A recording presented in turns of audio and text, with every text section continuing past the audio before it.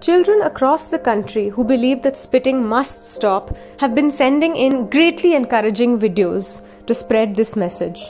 Here is 10 year old Ayaansh with an original poem to stop India spitting. Stop India spitting. Learn little bit. Let's not spit. Make people quit. If you want to spit, carry a spit kit or dig a pit to spit. Better break this habit. You know, spit can transmit virus it will emit. It spreads COVID. I mean it. Stop India spitting. Learn little bit.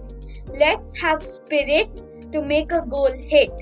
Be a part of it. Keep an eye on it.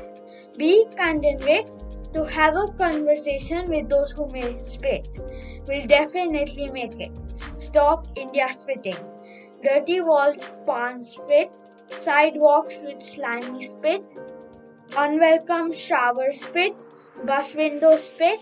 Rickshaw driver sneaking spit. Make us vomit. Let's everywhere paint it, post it, spread it, pin it, tweet it. Let's be in it to stop India spitting.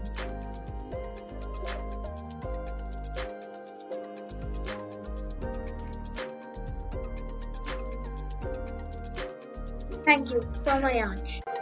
We much appreciate this poem from Ayaansh and continue to feature our children from across the country with their messages on this important subject. Be sure to like and share this video, subscribe for more, and check out our playlist for a lot more interesting content.